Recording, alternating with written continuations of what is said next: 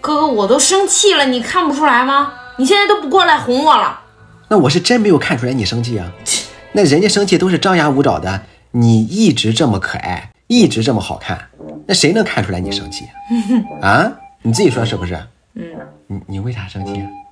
那还不是因为呃，昨天咱俩一起看恐怖电影，然后你睡着了啊，就剩我一个。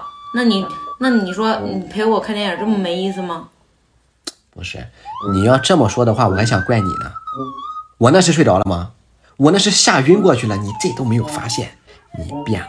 你果然你都不爱我我没有，我爱。那之前咱俩一起出门，我打个喷嚏，你都恨不得给我做一个全面体检。那现在我都吓晕过去了，你一点反应都没有，气得我心脏疼啊！